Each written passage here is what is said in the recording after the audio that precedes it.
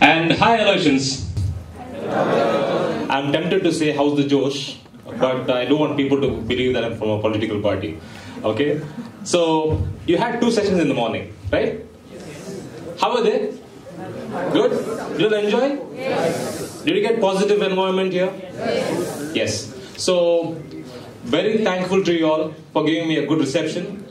Ma'am is here, so thank you very much, ma'am. And uh, I hope you respond very well as you responded to the previous sessions. Um, so, first of all, let me tell you, I come from different capacities, right? As the introduction said, uh, I'm an entrepreneur, a basketball coach, working for MNCs, general manager for an MNC. So, you may, be, you may be wondering what questions to ask this person, right? So, what would you want me to address myself as? An entrepreneur? Good enough? How many come from business families here? Parents are businessmen. How many would want to become businessmen one day? Or businesswomen? Okay, a fair number, right? Uh, I'm very thankful because I'm one of those few privileged people to have spent 17 years of my life studying in Aloysius College, right? So whenever I come home, it feels like you know the extension of what I used to have you know happen here. So this is a new room, a fantastic experience. I don't know how many times I've uh, had sessions here, but this some, seems to be something new to me. You know for what? Can you tell me why? Haven't you come here with your own motivation? Has someone pulled you here, said compulsory, be here? All of you have come with your own will, right? You had to pay a small amount as well. Entry fees, good. That, that is nothing compared to what you're going to get here, right? So please give me positive energy and I'm going to give it back to you. So if I go on narrating my old story, it is going to be one of the most boring stories you'll ever hear. Because I, you know, I come from a very middle class family. But then when I came to my primary school, I understood that my kindergarten studies was not that high level. So I got into this group wherein there were a lot of people coming from fantastic kindergartens, spoke very good English, could draw sun, could draw diamonds, could draw all sorts of things. But here I was struggling to say ABC. I was finding it very difficult. That continued for a very long time. When I came to standard 8, I realized I had this big problem of stammering. It brought my confidence down so low that I couldn't even interact in English properly. So it was all in Konkani, my uh, mother tongue. When I came to class, people used to laugh at me. So I never used to utter a single word in English. I used to be in my own cocoon, never got the courage to come, come forward. And uh, thankfully, one of my best friend's father happened to be my English teacher in standard 8th. So he asked me one question John, I know that you have a problem with stammering. I said yes. Would you like to speak properly? I said yes. Who wouldn't like to? This all this conversation was in Konkani, by the way. Then he asked me, if I give you a challenge, are you willing to accept it? I said, why not? If I get an opportunity to speak better, why not? Then he gave me a simple solution. If you accept the challenge, tomorrow onwards, I'm going to give you one page of this English book to read about. Deep within, I had a Shakespeare in myself because I could read properly. I had absolutely no problem with reading. But when it came to reading it and giving it out to people, it was very, very difficult because of the confidence level I had. It was terrible. All time low, zero.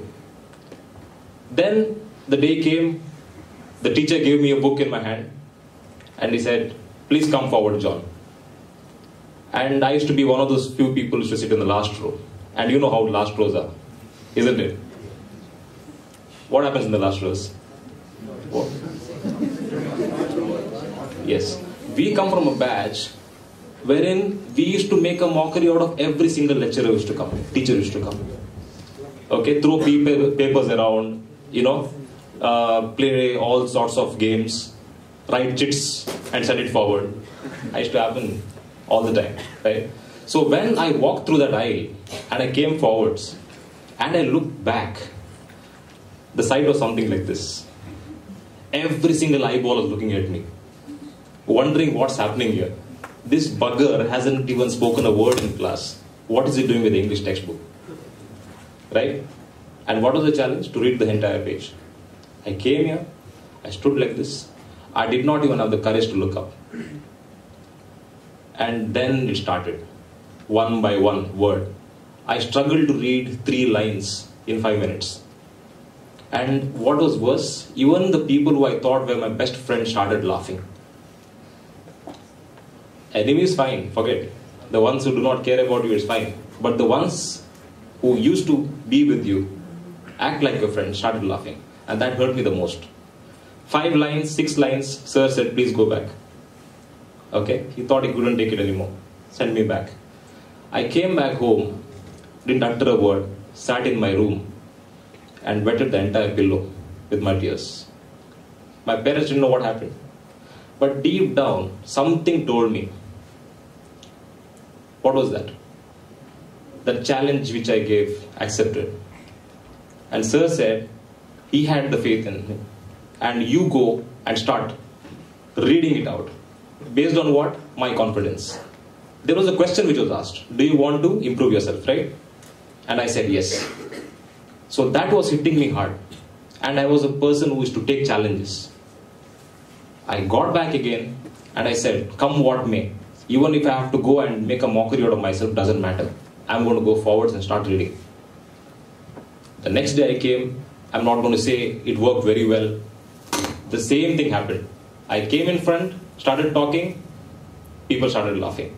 After fourth or fifth day, the laughter was reducing slightly. So one day I asked my friend, Buddy, you were laughing at me, right? Uh, so was the entire class. So why are you all gone so, so, so, so silent, you know? What's happening to you? He said, Not because of that. Not because I've become a fantastic reader. It is because you have the guts to stand in front and speak. Whereas there are other people who know everything, who can say everything, but you are the one who is showing that character. So we are all proud about that. So go and do the same thing. And here you see the result. What do you think has changed in me? What do you think has changed? Would I have changed if I hadn't met that person at that time? Would it have changed if I had come home, said I'm not going to do the same thing again? Would it have changed? Now I have got the confidence to stand in front of anyone and talk. Doesn't matter. How many people have weaknesses, some kind of weaknesses? I'm, I'm sure most of you may have some weakness or the other, no? Is there any person in this room who doesn't have any weakness? Doesn't have any weakness? Not a single person, right? So acknowledge that. So, what is the first thing you can do? Encourage others. Haven't you had weaknesses and people just did not allow you to come out and say a single word, in, you know, in fact, laughed at you? Hasn't there been situations where you have been demotivated? Now you're sitting here. First question you ask is Who is this person standing in front? Is this story very inspiring or is this story very boring? In fact, you have got the choice to either accept this person as the best person in the world or you got the chance to say, No, I'm not going to listen to him whatsoever. Right? When I grew up slightly and I came to 9th standard, I used to play football. Right? And then the chance for representation of the state came by. But then I also developed a keen interest for basketball. So then my PD came and told me, why wouldn't you join basketball? Because you got the height. Ninth standard I was not in the team. Tenth standard I started playing. In fact, I even became the captain of the 10th standard team. Never looked back. Developed something called as an ego. Never knew how to speak English. 10th standard, I came and started speaking so fast that people couldn't even understand. And there was a different dilemma here. I came out, people just listening to me for two, three minutes. And after three minutes, they were like, What did you just say? Why did that happen? I had an influence of these people who used to do commentary on TV. Most of you watch WWE. Most of you watch EPL, La Liga, such tournaments. And worst was what you used to hear on the radios. Have you heard of radio commentaries earlier? How were they? If you watch cricket commentary, it's almost like something is happening every time. In fact, he's defending the ball on the front foot. You know, some things happen like this. And I was so influenced by that, I was I used to assume that this is the way to do it. 10th standard. That was the first time I went to work with my father. As the sir said, someone had lost his keys here. Whose key was that? Yeah. Our primary job is to duplicate keys for either your vehicles, okay, or your door locks and stuff, stuff like that. We have an ancestral firm which has been there from the last 115 years. Okay, so we had a small shop which was 26 square foot in dimensions. Do you know what 24 square, 26 square foot is? How big is it? It should be this big, right? Now, when I sat in there, it was not the premise that attracted me the most. It was just the fact that my dad had the skill to do so many things, which used to look like a you know magician at work. I put myself into it, developed a keen sense of interest. My dad never stopped me. When I came to PU college, I used to spend a lot of my vacations at the workplace. I used to go play basketball in the morning, get tanned, immediately come home, wash myself, and immediately go to work. Then I had already taken up PUC science. You know how science is, isn't it? How many of you are science students here? Wow, huge number. Right? I had taken up PCMB for one reason. What was that reason? What was that reason? Prestige. PCMB, you feel like the king, isn't it? You feel like the king. And other people give you so much of bad knowledge, saying, you know, if you get, if you take this up, you will get the entire options to work with. You will become like Einstein. Okay, you will, you will go into space. All sorts of things. It fascinates you. Moreover, it was not just that. It was even accepting the fact that other fields are not that, you know, that lucrative. But deep down, there was a businessman in me. And in PU college, my father asked me one question Would you like to get into business or would you like to get into an engineering field? Because we had an engineering wave that time. If you understand what an engineering wave is, everyone, every small boy who came through 10th standard had only one question Which branch of engineering will you take? There was no other question. And one more thing which was very misleading was teachers used to come to class and say, if at all you take up diploma courses or arts courses or commerce courses, you'll end up being getting that job, you know, which no one wants. You'll become a mechanic. You'll become a bus driver. You'll become that, and people are petrified by that. Were you told this sometime back? No, but in our time, that was very, very much in uh, you know demand. All these kind of things depends on the personality that you are. If you get less marks, you'll be there. So it scared me off. In PU college, I decided I will write my CET. And my father just sat with me and asked, See, son, there will come a time where you will be asked for the consequences of your choices. See, this is how our business is. You'll be blackening your hand, you you look like a mechanic. People may come to you one day and ask you, What are you doing here? Did you get a job outside? In fact, even now, after doing so many things, people come to me and ask me, Why didn't you go abroad? Why are you with your dad? Why are you working with your dad? Such kind of things. And anyone from business family would recognize one thing. You will always be compared with your predecessors. Don't you think so? Don't you think so? You will always be compared to your father. You'll be always compared to your grandfather. Such things will happen. So what is required? What is required? Are you the same as your predecessor? Are you the same? You have your own identity, right? So when I came into uh, PU college, I just narrate a small story to you. I had two friends. One was a fantastic academic student, always used to get 90% and above. B did his MTech. Okay, and this boy, the engineering boy, he met me probably six years back in my office. And he said one thing John, do you know this boy? So, long we met him in college. After that, we've never been in touch. So, do you know uh, this boy has given me terrible times now? Asked him why, what happened? See, we studied so hard in college, and I happened to finish my MTech. I went to Dell company, okay, uh, as an engineer. After two or three years, I decided to change my job. I went to Accenture. When I went into Accenture, the person who took my interview was this fellow.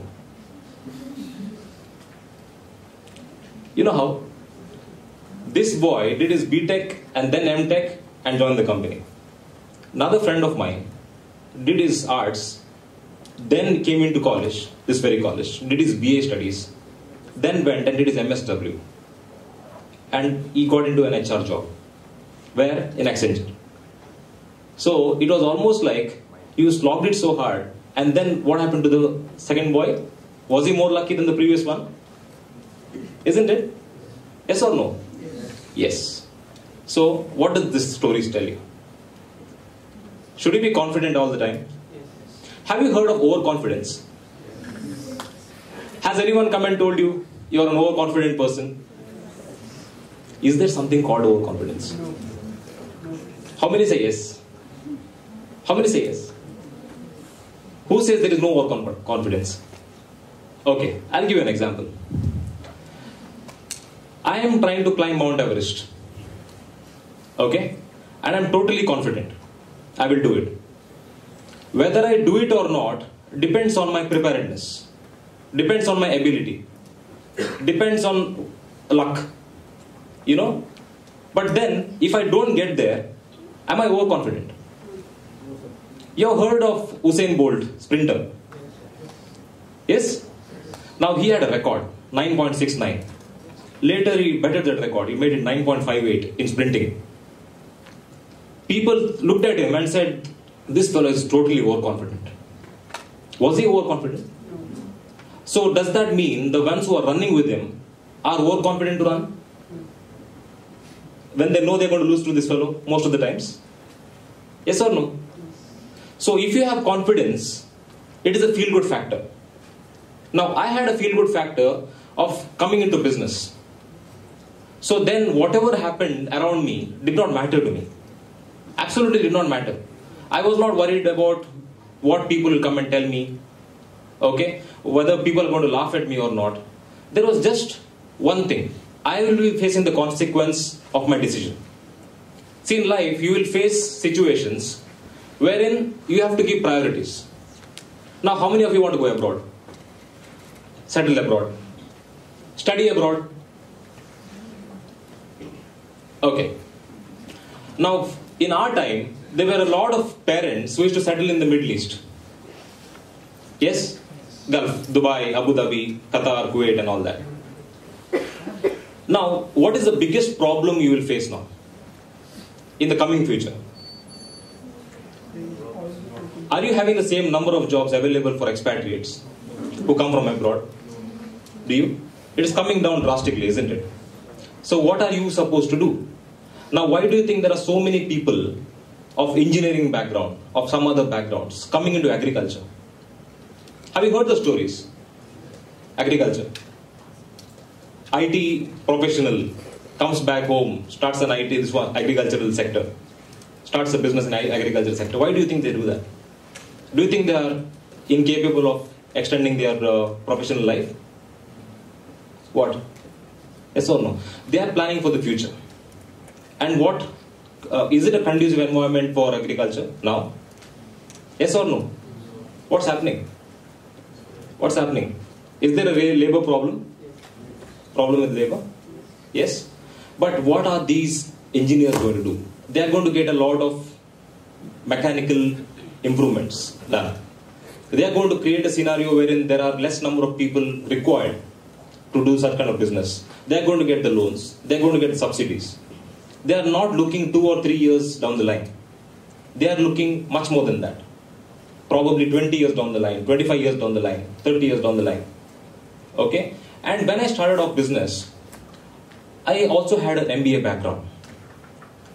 And I also was a sports person. So one day, the ex principal, he comes to me and says, John, we would like you to be our basketball coach. Okay? Because we do not see any other person who is in the locality who could improve our sport. I just gave it a thought. I was just 20 years of age then. 22 years of age then, sorry. I said, fine, no problem. I will come here and do it. The next thing that I find is people are embracing the way I motivate them. Now, is there uh, anyone who can motivate you when you don't want to get motivated? You come to some place and say, I'm not going to listen to this fellow, what come may. Will they be able to inspire you? There is only one kind of motivation, that is what? Self motivation. If you are ready to put your foot forward, there are people who will help you. That's what I thought.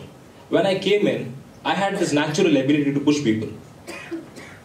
Push people to such an extent that I get a response from them. And I also discovered one more thing. Not all people are the same, isn't it? When you come into a sports field, especially when you look at those great coaches, how many of you follow football here? Regularly? Okay. It is the most watched game in the world, isn't it? Now, you see a lot of very successful people coming and not delivering. What is the problem? What is the problem? Do they know how to manage teams? Yes. But sometimes one three letter word comes in between. What is the three letter word? Someone said it here. It is ego. I developed a great sense of ego for one thing. In second year PU college, basketball captain. 10th standard, basketball captain. Degree college, basketball captain. So what happens? You feel like a king, especially when you're in Aloysius. Nowadays, change, things have changed a lot.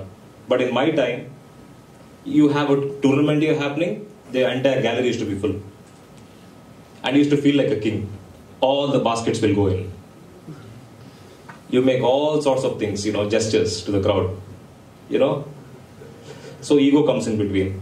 But the biggest problem for me was the company that I had. I used to be hanging out with people who were, in terms of finances, much more lucrative, much more richer in terms of economics. And deep down, I knew this was not the group which is going to take me forward. And one day, one incident happened. In the final year valedictory, a boy came to me and said, uh, John, do you recognize me? You look like a familiar face. I said, Yeah. Uh, you are so and so. Uh, he said, Yes. Do you remember those days wherein 10th standard you used to sit with me and teach me English? Because we had that initiative wherein we used to get these Kannada medium people together. To improve their language, we used to sit with one or two of them and you know converse with them in English. So he said, You did this to me. Okay, and I'm very thankful to that. So, do you remember that we were in different batches in PU college? I said I didn't even meet you after that. But do you remember that we were in the same class for all these three years in BBM? I said, Were you? Really? Because 50% of the times we were out of class for basketball practice and such kind of things. Uh, I asked him, why, why didn't you come before, before this to meet me? He said, I was intimidated by you. I said, What intimidation? I thought you were not supposed to be approached to. You had the different thing, you had that ego. I was not understanding what this fellow is talking about. I came back, I sat at home and gave it a deep thought. And suddenly I realized it was true. Because all those people I used to meet before, I'm not meeting them again. I had made a small group for myself who I used to hang out with every time. Then I decided one thing if I have to sustain in business in the future, I cannot do this. Can you be a successful businessman by having ego? You need someone. I have not seen any solitary person succeed in business. Can you succeed in business? At least you need people around you, isn't it? You need customers. So, if at all a person says, I want to become an independent person, does it mean you're isolating others from your life? I decided on one thing. From today onwards, I will treat ego as a different person as me. Ego is not me, it's a different person. So either I satisfy my ego or satisfy myself. then on, I started at least giving that person that importance. When I meet someone rarely or every now and then, I just make sure that I smile at them, say hi to them, have a quality conversation. That was not rubbing on rubbing onto me. I started becoming a different individual altogether. Even when I was at work, I was never, you know, comparing myself to my father. I said, yes, this is my identity. And I was a strong believer in that. See, if there is anything we can do, we can provide positive environment. Not trolling someone, not discouraging someone, not making a mockery of someone, disrespecting someone. To a large extent, it worked. To a large extent, it worked. So when we came into MBA courses, we had started from zero and started doing the small projects. How many have already started doing some kind of projects or at least know what you're going to do after college? Anyone? I was at AMIT the other day, Aloysius Institute of Business Administration. Okay? And I was very happy to know some people have taken up entrepreneurs projects. Like what? Hostelites. And what is the biggest problem boys have usually? Food, laundry. Clothes, laundry. Who has to wash it every time? So there were two boys who invested and bought a washing machine. Okay? And every week they used to take so much of money from these people, lend them the washing machine, ask them to wash it. These fellows had made a profit of 60,000 by the end of two years. Just by knowing what was required. Yeah? And another fellow had taken up the responsibility of running the canteen. The canteen was already there, took up the management, took up the manpower, started doing business, made a profit of more than 2 lakhs. So don't you think these are very innovative ideas? England, where did they go win? It was in England, isn't it? Yeah, at Lords the final was. So the English press was feeling so terrible that they wanted to get back at Indians somehow. The problem was India was ruled by England for such a long time. Okay? And they felt like their own servant has become their boss. It was a slap on their face. So they thought at least in the press meet, we'll make a mockery of this. And what is Kapil Dev's biggest drawback? He doesn't speak English. He's to make a murder of English. He's to kill it. Okay? Literally kill it. Okay? So then he picks out one good person. Who is that person? Navjot Singh Sidhu. Why? He was the only person who could speak good English at that time. Because his father was a master's in arts, literature. So he says, Hey, Junior, come, let's go for a movie. He drags him to the press and goes. And the press is filled with such kind people, you know, big guys, English guys, Gores. Three people are sitting on the dais. Kapil Dev, center. Sidhu to the left. Manager to the right, team manager. Manager doesn't know to speak English either. So Sidhu has been conned and fooled and bought here. So he's not knowing what to say, what to do, nothing. So he's asking Kapil Dev, what am I supposed to do? He says, कुछ नहीं पाजी जो कुछ मैं बोल रहा हूँ आपको इंग्लिश में बोलना है और जो कुछ वो बोल रहे हैं मुझे हिंदी में बता दो उतना ही okay whatever have to speak in Hindi you translate it to them that's all so Sidhu starts profusely sweat why it is not a problem telling Kapil what they are saying. But what Kapil is understanding and what he's saying is a big problem. Isn't it? So he's sweating and sweating. He was so nervous, if somebody had touched him, he would have died.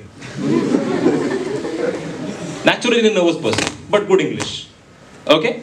Haven't you come across such people? You have, right? Okay. Then after about 5 o'clock, the bell rings. One person stands up, huge guy, 6 foot 5. He says, Mr. Kapil Dev, this is Mr. Brian from the Sun, he says.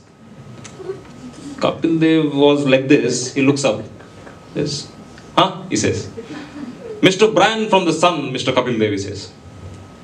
Ah, tell me. Okay. So he asks one simple question. From a land of a billion people, why can't you have one more Kapil Dev, he says. From a land of a billion people, why can't you have one more Kapil Dev? Kapil Dev is looking at him as if something has hit him. Right? When he looks at Sidhu, Sidhu doesn't even move an inch. He's looking down. After about four or five times, they know this fellow has not understood, not understood anything. So he's going to give you a ridiculous answer, anyways. So they keep on asking him, keep on asking him. After about five to six seconds, Kapil Dev stands up. Actually, not supposed to stand. Give an answer sittingly. With nervousness, he stands. And he says, Ladies and gentlemen, Sidhu is telling him there are no ladies only. What ladies only?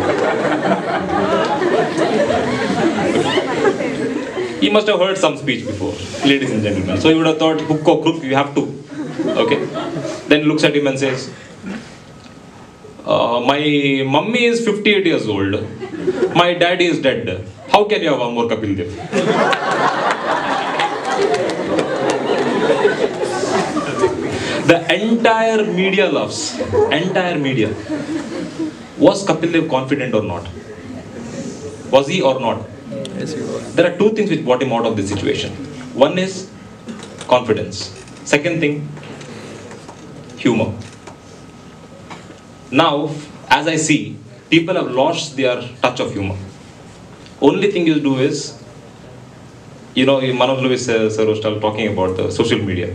You know, sit on uh, social media, you get all sorts of trolls and memes, isn't it? You have a great laugh. You have a great laugh, that's it. But the capacity of having the humor at the right time will get you out of many, many situations. Should you react or respond to situations? Tell me that much. Should you react or respond? See, you go on the road, you're driving properly, and you know how people ride in Bangalore. It's much better than how they ride elsewhere, but that's what they do. And you know there is no fault of yours. People will come and bump into your car. Or there was one or two incidents where on, we are going on a normal speed. There are people with suicidal tendencies. There was an instance, 11 o'clock in the night, we're coming back from a wedding, and someone is walking on the road, tries to jump on my car. What will you do? What will you do? There was a very terrible incident wherein this was an incident which I've been given permission to talk about since I also do counseling in a large capacity. This person who came to me was a boy of a father who was having a terrible time with finances, undergone huge losses. So he had decided to make a big insurance, one crore of insurance. Why? Because in his lifetime he's never going to recover that money and pay those people who he had uh, actually accepted those loans for.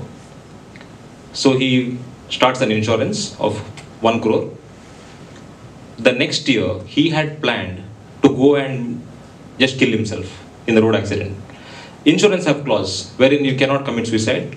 If you do commit suicide, you're not going to get insurance. That's the rule of it.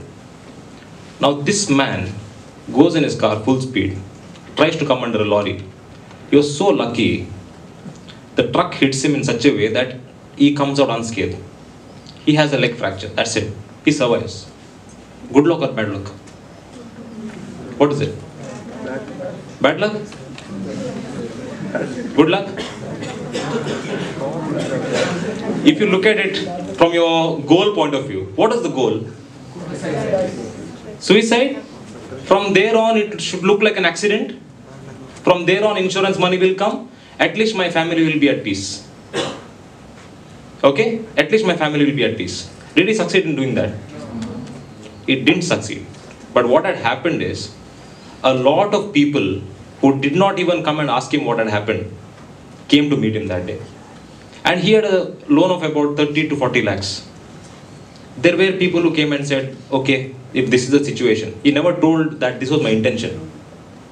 Just because he was helpless, lying in the hospital, people came forward to help him with these finances. And what happened? Four or five years later, they recovered out of the situation somehow. Asking people for money, and this person also pledged to pay it back. All those things happened. Now, children are doing well. They have got